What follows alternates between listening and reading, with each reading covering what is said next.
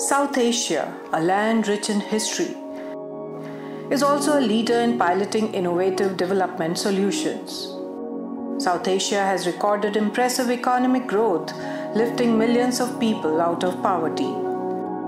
Home to a fifth of the world's people, a dynamic private sector and inclusive government programs, South Asia is pivotal to fulfilling the promise of the Sustainable Development Goals. For over 40 years, the International Fund for Agriculture Development, or IFAD, has gone the extra mile. We have reached the farthest villages and people to work with governments to end poverty and hunger. South Asia is crucial to our mission. Every second person in South Asia depends on agriculture for their livelihood. Around 70% of young South Asians live in rural areas, and more than half of them work in agriculture. Today, we are working in Bangladesh, Bhutan, India, the Maldives, Nepal, and Sri Lanka to help transform agriculture and the rural economy and improve rural livelihoods so that no one is left behind.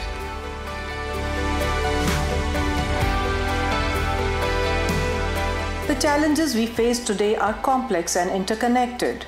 Challenges such as how do we increase safe and sustainable food production with limited resources?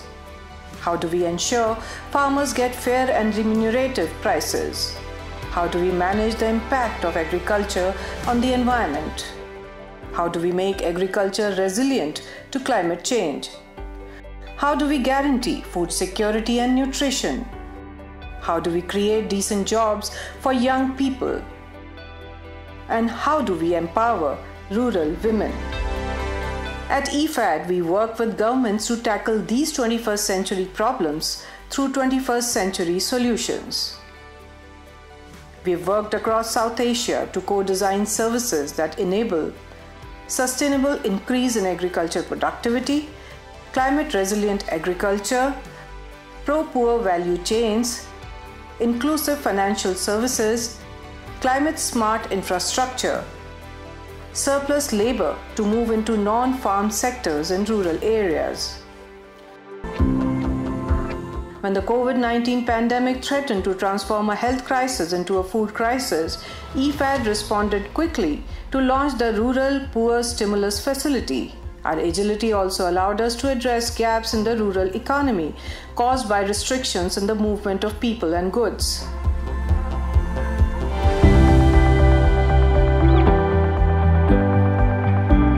IFAD draws on local expertise, indigenous solutions, global best practices, technical know how, and a wealth of experience to invest in rural people.